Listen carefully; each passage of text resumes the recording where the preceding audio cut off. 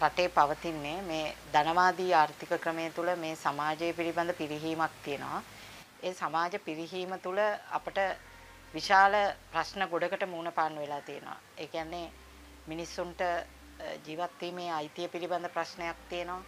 අනිත් කාරණාව තමයි මේ අලුතෙන්ම ඇති වෙලා තියෙන මේ මේ කියන්නේ මේ මැතිවරණයත් එක්ක මේ දේශපාලන ප්‍රවණතාවය මේ රටේ ඊටාම නරක තැනකට ගිහින් තියෙනවා. ඒ කියන්නේ පැවතුණු අවුරුදු 76ක පාලනය තුල හැමදාමත් ඒගොල්ලෝ කරේ රටේ ජනතාව මෝඩයට අන්දන එක තමයි.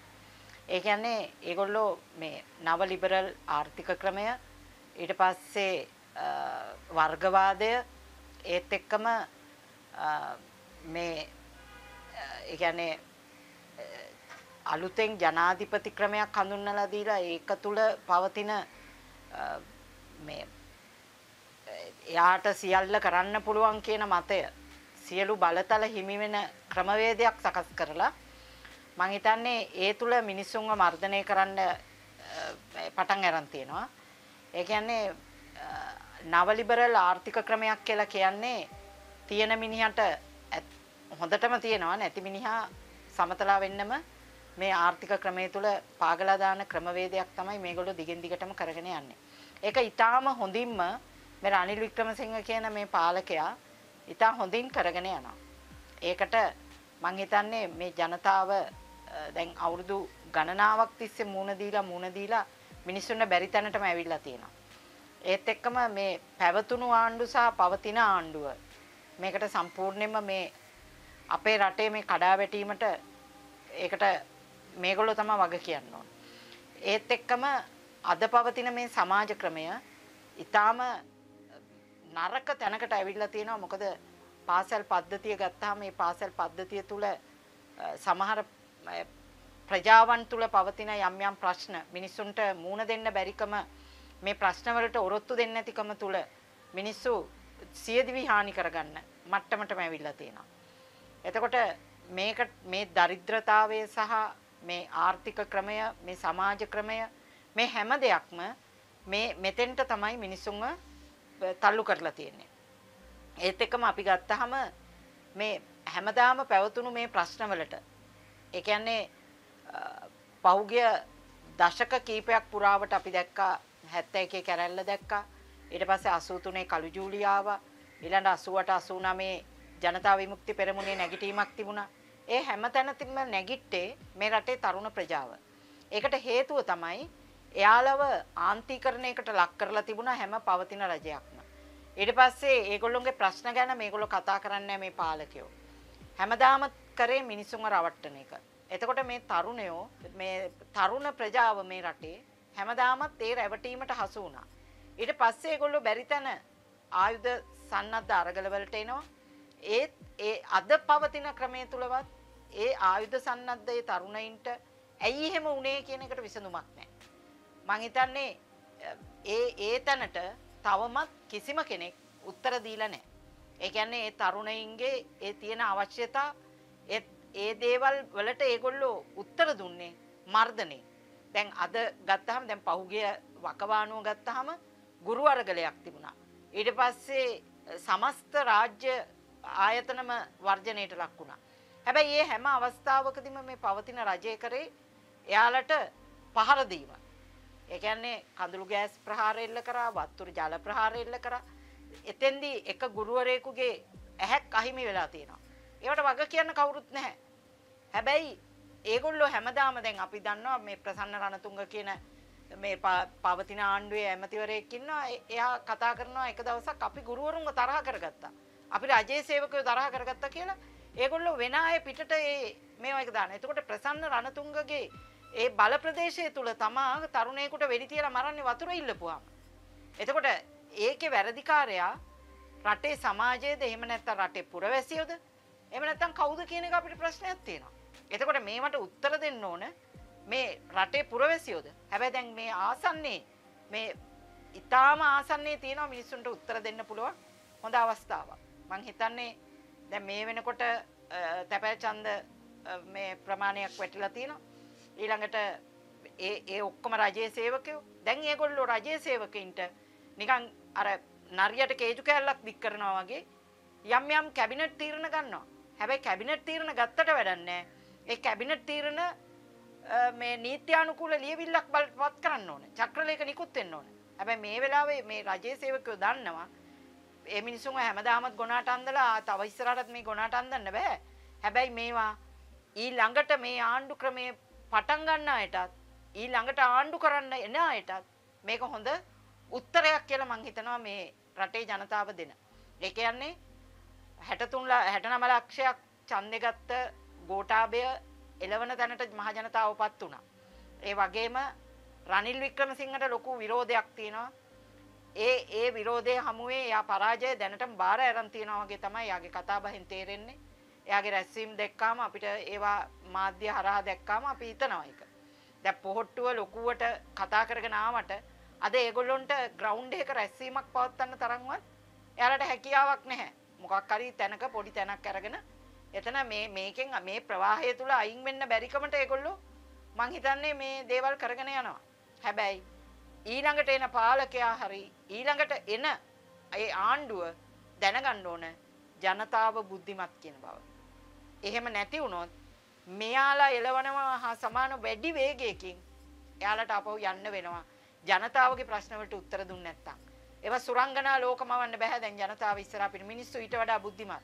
දැන් රනිල් වික්‍රමසිංහ හිතනවා නම් 88 89 කාලය තුල එයා ඒ ඒ ජනතාවට උත්තර දුන්නු විදිහට අද උත්තර දෙන්න පුළුවන් කියලා. ඒ කියන්නේ එයා හිතාගෙන ඉන්නවා ජනතාව ගොනාට අන්දන්න පුළුවන් කියලා. එහෙම වෙන්නේ නැහැ. මොකද ඒකට හේතුවක් තියෙනවා. එදා මිනිස්සුන්ට මේවා දැනගන්න ක්‍රමවේදයක් තිබ්බේ නැහැ. නමුත් අද සමාජ මාධ්‍ය හරහා මිනිස්සු මේවා දැනගන්නවා. එයාලගේ ඒ කියන්නේ printed media එහෙම නැත්නම් මේ ඉලෙක්ට්‍රොනික මීඩියා සමහර විට ඒගොල්ලෝ වාරණය කරන්න පුළුවන්. අනිකුත් දේවල් ජනතාවට දැනගන්න දෙන්නේ නැහැ. නමුත් ජනතාව මේවා දැනගන්නවා කියන එක දැන් මේ ඉන්න පාලකයෝ දැනගන්න ඕන. එයාලට සදාකල් පැවැත්මක් නැහැ. නමුත් එන පාලනය අපි දැනගන්න ඕන. එයාලා මීට වඩා මේ ජනතාවගේ ප්‍රශ්න වලට ආමන්ත්‍රණය කරේ නැත්නම් මේ මේ පවතින පාලනය එළවනවට වඩා වේගෙන් මිනිස්සු සන්නද්ධ වෙනවා. එයාලව එළවන්න. ඒක ඒක අවබෝධ කරගෙන ජනතා හිතවාදී ආණ්ඩු ක්‍රමයක් බිහුන් නැත්තම් මේ රටේ අපි ඒ කියන්නේ ඉදිරියට මේ රටට අනාගතයක් නැහැ කියන එක. අනිත් කාරණාව තමයි අපි ලෝකේ දියුණුවයි කියලා රටවල් ගැන අපි කතා කරනවා. ඒ හැම රටක්ම බෞද්ධවාදී සංකල්ප තුල පැවතුන මේ රටවල් තමයි ඒවා. ඒ කියන්නේ ඉන්න හැමෝටම සමාන අයිතිවාසිකමක් හැමෝටම දීලා තියෙනවා. තමන්ගේ අයිතිවාසිකම්. ඒ කියන්නේ වර්ගය අනුව, එහෙම නැත්නම් තමන්ට තියෙන හැකියාව අනුව, එහෙම නැත්නම් ಜಾති අනුව, එහෙම නැත්නම් ආගම් අනුව, කවදාකවත් ಜಾති කුල මල ભેද අනුව එයාලා වර්ග කරලා නැහැ. ඒ රටක පුරවැසියෝ නම් ඒ රටේ පුරවැසියෝ. රටක් නම් ඒ රටේ පුරවැසියෝ. අපේ තමයි අපි ගත්තාම ශ්‍රී ලංකාවේ දෙමළ ශ්‍රී ලංකාවේ සිංහල අපි සිංහල අපි බෞද්ධ එහෙම රටවල් ලෝකේ නැහැ. ඒ කියන්නේ මේගොල්ලෝ තාමත් ජීවත් වෙන්නේ ගෝත්‍රවාදී සමාජයක් තුල. ගෝත්‍රිකයෝ තමයි මේ විදිහට බෙදිලා ජීවත් වෙන්නේ. හැබැයි ඉදිරියට මේ පෞගිය කාලයේ පැවතුණු මේ අරගලය තුල මිනිස්සු දැනුවත් වුණා. ඒ තරුණයෝ මිනිසුන්ව දැනුවත් කරා. තමන්ගේ ගෙවල් දොරවල් සහ තමන්ගේ ප්‍රදේශය ඒ කතා කරන දේවල් ඒ සියල්ල ජනමාධ්‍ය හරහා සහ සමාජ මාධ්‍ය හරහා මිනිස්සු දැනගත්තා. මේ මේ රාජ්‍යයන්ට පැවතින්ට අවශ්‍යතාවය තියෙන්නේ මේ වර්ගවාදය මුල් කරගත්ත. එහෙම නැත්නම් ආගම්වාදයේ මුල් කරගත්ත දේශපාලනයක් තුල නැවත වතාවක් මේගොල්ලන්ට මේ පවතින්න බෑ කියන එක දැන් මිනිස්සු අවබෝධ කරගෙන තියෙනවා. ඒක නිසා මොන සමහර හාමුදුරුවරු ඉන්නවා මේ මේක නැවත පාරක් උලුප්පලා ගන්න උත්සාහ කරනවා. හැබැයි කනගාටුයි කියන්න එයාලගේ උත්සාහය එහෙම සාර්ථක වෙන්නේ නැහැ අද පවතින සමාජය තුල. ඒ කියන්නේ තරුණයෝ අවදියෙන් ඉන්නවා. තරුණයෝ තමන්ගේ වැඩිහිටි પરම්පරාව අවදි කරලා තියෙනවා. ඒ අවදි කිරීම තුල එයාලා හිතනවා නම් නැවත වතාවක් මේ සමාජයේ මේවා වපුරලා මේ තමන්ගේ දේශපාලන මතිමතාන්තර ඉදිරියට ගෙනියන්න පුළුවන් කියලා කවදාකවත් වෙන්නේ නැහැ. අපි හැමෝම ගැන හිතන්න ඕන. උතුරේ මිනිස්සුත් මිනිස්සු, දකුණේ මිනිස්සුත් මිනිස්සු, කඳුකරේ ඉන්න මිනිස්සුත් මිනිස්සු කියන ඒ මනුෂ්‍යත්වයේ කියන තැන අපි ඉන්නවා නම් ඒ හැමෝටම ඒ වෙනස්කම් අපි ආදරයෙන් පිළිගන්නවා නම් ඒ වෙනස්කමට ඒ විවිධත්වයට අපි ආදරය කරනවා නම් කවදාකවත් රටක ප්‍රශ්න ඇති වෙන්නේ නැහැ. ඒ විවිධත්වයේ තමයි රටක ඉදිරියට යන්න ක්‍රමවේදය හදාගන්නේ. ඒ ඒ ඒ ක්‍රමවේදය ඒක සාර්ථකයි කියලා කියන්න පුළුවන්. මොකද ඒ විවිධත්වයට ආදරය කරනකොට මිනිස්සු එකිනෙකා අවබෝධ කරගන්නවා. ඒ තුල තියෙන සැකේ පහ වෙලා යනවා. ඒ ආදරය තුල මිනිස්සුන්ට පුළුවන් ඉස්සරහට යන්න. ඒ ඒ තමන්ගේ ශ්‍රමය යම්කිසි ඒ ඒ තමන් දරණේ ශ්‍රමය වටිනාකමක් දෙන්න ඒ පවතින ආණ්ඩුවට පුළුවන් නම් මිනිස්සුන්ට මං හිතන්නේ ඊට වඩා මහන්සියලා වැඩ කරලා තමන්ගේ වටිනාකම ට හරියන වැටුපක් ලබාගෙන තමන්ගේ ජීවිතය බාල්දු කරන්නේ නැතු කෙනෙක් ඉස්සර අපිට තමන්ගේ ඩිග්නිටි එක තමන්ගේ ආත්මාභිමානය නිවැරදිව තියාගෙන වැඩ කරන්න පුළුවන් නම් මිනිස්සු ඒකට ආදරෙයි. අපේ මිනිස්සු මෙහෙම දුක් විඳින්න ඕනේ මේ රටේ. මිනිස්සු හිතන්නේ හම්බ කරනවා, වියදම් කරනවා, ඊට පස්සේ වේලක් කර වේලක් හරි කාලා තමන්ගේ ප්‍රශ්න විසඳගෙන ඒක නෙමෙයි ජීවිතේ. ජීවිතය කියන්නේ එතනින් එහාට ගිය කොටසක් තියෙනවා ජීවිතේ. තමන් වින්දනය කරන්න ඕන. තමන්ට සින්දුවක් අහන්න, තමන්ට චිත්‍රපටියක් බලන්න. ඒකට විවේකයක් තියෙන්න ඕන. අද මිනිස්සුන්ට විවේකේ නැහැ. ඒ විවේකේ නැති නිසාම මිනිස්සුන්ට තමන්ගේ ආකල්ප සහ තමන්ගේ උවමනාවල් යටපත් කරගෙන ජීවත් වෙන්න වෙලා තියෙනවා. අපේ අධ්‍යාපන ක්‍රමය ගත්තත් ළමයින්ගේ ආකල්ප සංවර්ධනයට කිසිම දෙයක් වෙලා නැහැ. හැකියාව කුසලතාවයට නෙවෙයි මුල් තැන හම්බෙලා තියෙන්නේ. උසස් වීම දෙන පටිපාටියක් නැහැ රැකියාවල් වල. එන්නේ කියන මේ දේශපාලනයට අපි තිත තියන්න ඕන. ඒ දේශපාලනයට තිත තියන්න නම් අපි මේ ක්‍රමය අනිවාර්යයෙන්ම වෙනස් කරන්න ඕන.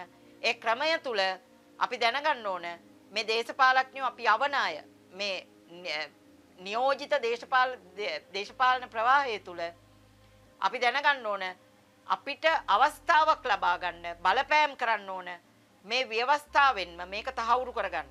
මොකද ඒ අපි අවන දේශපාලඥයා හරියට තමන්ගේ කාර්යය ඉෂ්ට කරේ නැත්නම් අපිට පුළුවන් වෙන්න ඕනේ යා නැවත කැඳවන්න. ඒ බලය අපි ලබා ගන්න ඕන. මොකද අපේ කතිරේට ලොකු බලයක් තියෙනවා. ඒ බලය තාමත් අපේ රටේ බහුතරයක් පුරවැසියෝ හඳුනාගෙන නැහැ. Tamanට තියෙන බලය කොච්චරක්ද කියලා. ඒක හඳුනාගෙන ඒ කතිරේ තියෙන වටිනාකම අනුව Taman කතිරේ පාවිච්චි කරනවා නම් අද කවදාකවත් ඒකට දෙවනි තැනක් හිමි වෙන්නේ නැහැ. මේ දේශපාලඥයින්ට මෙහෙම බඩපිනුම් ගහන්න බෑ මේ අපේ රටේ.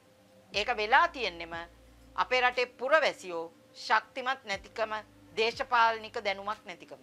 හැබැයි අද වෙනකොට මං හිතන්නේ මිනිස්සු වෙනස් වෙලා තියෙනවා.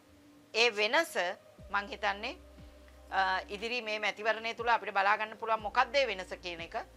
ඒ වෙනස කරන්න ඉදිරිපත් වෙලා ඉන්න මිනිස්සු නැවත වතාවක් මේ රටේ පැවතුණු පාලනය වගේම ඉස්සරහට යනවා එයාලට වඩා වෙවිගෙන් අයින් වෙන්න වෙනවා මේ පාලන තන්ත්‍රය. මොකද මිනිස්සු නිකන් ඉන්නේ මිනිස්සු දැන් තමන්ගේ බලය කොතනද තියෙන්නේ කියලා දන්නවා. මිනිස්සු ඒක ඒක රාශී වෙනවා. ඒ ඒක රාශී වෙන එක නවත්තන්න බෑ. මං හිතන්නේ පහුගිය කාලෙම දේශබන්දුලා සලේලා එකතු වෙලා මේ දේවල් කරන්න ලෑස්ති වුණා මිනිස්සු මරන්න ලෑස්ති වුණා. හැබැයි මිනිස්සු එක යටපත් වෙන්නේ නැති බව දැනගත්තාම එයාලා පරාජය වුණා. ඒ කියන්නේ ඒ නීතියේ අවකාශය තුල එයාලට ඒ කරපු සෙල්ලම් ඉස්සරහට කරගෙන යන්න බැරි වුණා. ඒ බැරිවීම තුලම ඒගොල්ලෝ පරාජය දැන් බාර අරන් තියෙනවා. ඒක නිසා මං හිතන්නේ මේ මේකේ පැවැත්ම ඉස්සරහට ගෙනියන්න නම් අපි මේ සමාජ ක්‍රමය වෙනස් කරන්න ඕන. මේ දේශපාලන ක්‍රමය වෙනස් කරන්න ඕන. මේ ජරා වෙච්ච දේශපාලනය තුල මේ නිලධාරීන්ගේ මේ බලය පාවිච්චි කිරීම සහ මේ නිලධාරීවාදය කියන එක අයින් වෙන්න ඕන. මේ නිලධාරීන් දැනගන්න ඕන අනිත් කාරණාව තමයි පරිපාලන නිලධාරීන් Tamanට බලයක් තියෙන බව. ඇයි Taman දේශපාලඥයන්ට යට වෙන්නේ? එන එන දේශපාලඥයාට Tamanට ඕන විදියට එයාට ඕන විදියට වැඩ කරන්න දෙන්නේ නැතුව එයාලා රටේ පරිපාලන නිලධාරීන් විදියට මේක බාර ගන්න මේ නිලධාරීන් විදියට Taman මේ මේ අර අපි කියනවා මේ වයිට් කොලර් රොවර්ස්ලා කියලා. ඒ තත්ත්වයටපත් වෙන්න හොඳ නෑ. තමන්ගේ තමන්ගේ ආත්මාභිමානයට ඒක ලොකු ප්‍රශ්නයක්. මිනිස්සු කියනවා මේ නිලධාරීන් තමයි මේ හොරකම් කරන්න පාර කපන්නේ කියලා. එහෙමනම් ඇමතියා හොරකම් කරනකොට, නියෝජ්‍ය ඇමතියා හොරකම් කරනකොට තමන්ට ඒකට විරුද්ධ වෙන්න පුළුවන්. තමන් තමන්ගේ රැකියාව නැති කරන්න බෑ කාටවත්. තමන්ට සුදුසුකම් තියෙනවා නම් ඒ රැකියාව නැති කරන්න බෑ. ඒ නිලධාරියාට පුළුවන් වෙන්න ඕන කොන්ද කෙලින් තියාගෙන හිටගෙන කියන්න තමන් කරන වැඩේ වැරදි කියලා. හැබැයි ඒ தත්ත්වයට රට ගේන්න නම් මේ ක්‍රමය වෙනස් කරන්න ඕන නීතිය හරි තැන තියාගන්න ඕන.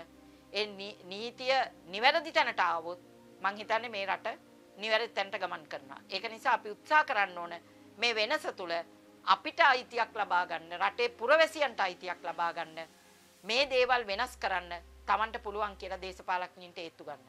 ඒවට රනිල් කියන කතාවත් තමයි අපි විනාශ වෙච්ච රටක් තමයි බාරගත්තේ. කෝ කවුරුත් ආවද බාරගන්න? අනුරු දිසානායක විපක්ෂ නායක කවුද ආවේ? මම නියම තැනකට රටගෙන ආවා. ඔව් මිනිස්සුන්ට අමාරුයි. ඒත් දැන් රට තියෙන තත්ත්වය. ඒක මේ එයාට එහෙම කියන්න පුළුවන් අයිතියකුත් එයාට නෑ. එයාට සුජාතභාවයක් නෑ. එයා රට නිවැරදි තැනට ගෙනාවා කියලා. ඒ කියන්නේ අපි ලෝකෙට ගෙවන්න තියෙන ණය ගෙවුවා නම් නැවත වතාවක් මේ පොලිං යුගය ඇති වෙනවා. දැන් මේ ණය ගෙවන එක ටික කාලයකට කල් දීලා තිනවා අපිට. ඉස්සරහට ගිහිල්ලා තියෙනවා. ඒක නිසා මේ ඩොලර් සංචිතයක් යම් කිසි ප්‍රමාණයක් අපිට තියෙනවා. ඒකෙන් මේ දේවල් කරගෙන යන්න පුළුවන්. නමුත් මේක මේ සංකෝචනය වෙච්ච මේ ආර්ථිකයක් තාමත් තියෙන්නේ. ඒක ඉහිල් වෙච්ච ගමන් ඒක දැන් වාහන ගෙන්නන්න දෙනවා. දැන් එක කාරණාවක් තමයි දැන් රනිල් වික්‍රමසිංහ දැන් මේ වැටුප් වැඩි කරන්න කතා කරනවා. දැන් යාම කිව්වා කලින් එයාගේ ලේකම් කියනවා මේ මේ එහෙමනම් අපිට වැට් එක වැඩි කරන්න වෙනවා කියලා. ඒක කොහොමද දැන් වැටුප් දෙන්නේ? ඒ කියන්නේ මේක සම්පූර්ණයෙන්ම මේ මැතිවරණයේ ඉලක්ක කරගත්ත මේ කතා බහ. එයාට යමක් කරන්න ඕන නම් එයාට කරන්න පුළුවන් කාලයක් තිබ්බා. ඒ මේ අවුරුදු දෙකමාරක් තිබුණා. එයාට කරන්න තිබුණා. හැබැයි කාටවත් මේක මහා ලොකු දේවල් මේකේ කරන්න බෑ. මේ අපිට ණය ගෙවන්න සිද්ධ වුණා නම් ඒ පෝලිං යුගයේ එයාට නැති කරන්න හම්බෙන්නේ නැහැ. එයා කරපු මේ මහා ලොකු මේ මේ මේව විද්‍යාවක් නෙවෙයි මේක. මේක ඕනෑම කෙනෙකුට මේක කරන්න පුළුවන්. අනිත් කාරණාව තමයි රට බාර ගන්න කියලා විවෘතාර්ධනය කාටවත් කරේ නැහැ. ඒගොල්ලෝ යම් යම් කාරණා ඉදිරිපත් කරා මෙන්න මේක යටතේ අපි බාරකාර ආණ්ඩුවකට ගිහිල්ලා මාස 6කින් අපි නැවත පාර්ලිමේන්තුව විසිරවලා අපි මේ නැවත නිවැරදි ප්‍රජාතන්ත්‍රවාදයට එමු කියන එක. ඒකට මෙයා එකඟ වුණේ ඒක කල්මැරුවා කතානායක. ඒකලා හොර රහසෙම පිටිපස්ස දොරින් ඇවිල්ලා එයා ආගමතිකම් බාරගත්තා ඊළඟට ජනාධිපතිකම් බාරගත්තා. ඒක තමයි උනේ. ඒක මේ රටේ මොලේ තියෙනවා නම් මිනිසුන්ට ඒක හොඳටම තේරෙනවා. එයා කරපු එයා මහා ලොකු විද්‍යාවක් මෙතන කරලා නැහැ. ඒ කියන්නේ රනිලුත් මේ රට වැටිච්ච එකට වගේ කියන්න ඕනේ. අනිවාර්යෙන්ම එයා වගේ කියන්න ඕනේ. මොකද එයාගේ පාලන කාලය තුල තමයි එයා වැඩිම ණය ප්‍රමාණය කරන් තියෙන්නේ. එතකොට ඊට කලින් මහින්ද රාජපක්ෂගේ ආණ්ඩුව තුල ගත්ත ණයට වගේ දෙගුණයකටත් වඩා වැඩි ප්‍රමාණයක් එයා ණය අරන් තියෙනවා. ඒ ඒ ණය උගුලේ තමයි එයා මේ හිර කරලා අපිවත් හිර කරලා රට බංකොලොත් කරලා දැන් එයා ඒ රට බංකොලොත් කරන එකට එයා වගේ කියන්න ඕනේ. ඒගොල්ලෝ එයාත් ඒ ඒ එතන හිටියේ පාලකෙක්. එතකොට එයා දැන් අවුරුදු 40 ගාණක් පාර්ලිමේන්තුවේ ඉන්නවා. 45ක්. එයා මොනවද මේ රටට කරලා තියෙන්නේ? එහෙමනම් මේ රට මීට වඩා ඉස්සරහට යන්න ඕනේ. එයා උතුරු නැගෙනහිර මිනිස්සුන්ට කියනවා මං අරක දෙන්නම් මේක දෙන්නම් කියලා දැන්. එයාට දෙන්න තිබුණු කාලයක් තිබුණා. එයා ඒ දේවල් කරේ නැහැ. එයා විධායක ජනාධිපති. එයාට දෙන්න තිබුණා. නමුත් ඒගොල්ලෝ අනාගතේ ඊළඟ සැරේට කොහොමද මං අඩුම ධර්මේ පාර්ලිමේන්තුවට එන්න කියන අදහසින් තමයි අද එයා ওই කතාව කියන්නේ. ඒ කියන්නේ වාමාංශික පක්ෂයක් විතරක් බලය ගත්තොත් මේක කරන් යන්න පුළුවන් වේද? දැන් මේක මම මුලින්ම පටන් ගන්නකොටම කිව්වා මේවා නව ලිබරල් ආර්ථික ක්‍රමයක් තමයි මේ රටේ දැන් මේ ස්ථාපනය කරගෙන රනිල්ලා මේක අන්ත ධනවාදී ක්‍රමයකට මේක අරන් ගිහිලා තියෙන්නේ. දැන් අපිට තියෙන ප්‍රශ්නේ තමයි වමක් තියනවද මේ රටේ කියන එක. දැන් සමාජවාදී ආර්ථික ක්‍රමයක් තුල යන්න බැරි බව රුසියාව අපිට හොඳ උදාහරණයක් දීලා තියෙනවා. ඒ කියන්නේ සමාජවාදය ආරම්භ වෙච්ච තැන එතන පටන් ගත්ත තැනම කඩාවැටීමක් තියෙනවා නම් ඒ කියන්නේ ඒක සාර්ථක ක්‍රමවේදයක් නෙමෙයි. රටේ අන්ත ධනවාදී ක්‍රමයකටත් රටවල් යන්න බෑ. ඒ රටවලුත් යම් අවස්ථාවකදී මැද පිළිවෙතකට එන්න ඕන අපි. ඒ මැද පිළිවෙත තුල තමයි යන්න ඕන. අපිට එකක්වත් මේ විවෘත ආර්ථිකය තුල මුළු ලෝකෙම දැන් විවෘත වෙලා තියෙනවා. එකම ගම්මානයක් බවට පත් වෙලා තියෙනවා. ඒතකොට අපිට විතරක් ඒකෙන් වෙනස් වෙන්න බෑ. අපි යාලත් එක්ක යන්න ඕනේ. හැබැයි අපිට අපේ රටට ගැලපෙන ආර්ථික සහ සමාජ ක්‍රමවේදයක් අපි හදා ගන්නවා. එහෙම නැති වුණොත් ආයි නැවත වතාවක් මේක අවුලකට යනවා කියන එක තමයි කියන්න තියෙන්නේ.